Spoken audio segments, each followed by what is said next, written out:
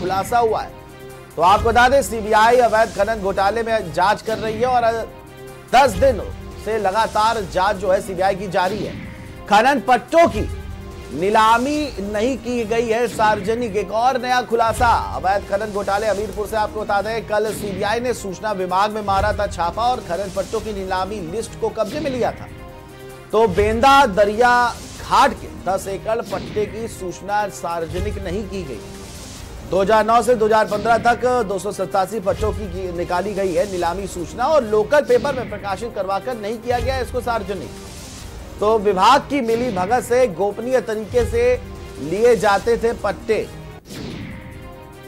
तो लगातार जिस तरह से दिन पर दिन बीत रहे हैं एक के बाद एक खुलासे जो है हमीरपुर में अवैध खनन घोटाले जुड़े सामने आ रहे हैं। और एक और खुलासा ये आया है कि लोकल अखबार में प्रकाशित करने के बाद सार्वजनिक नहीं किया है। तो विभागीय मिली भगत से गोपनीय तरीके से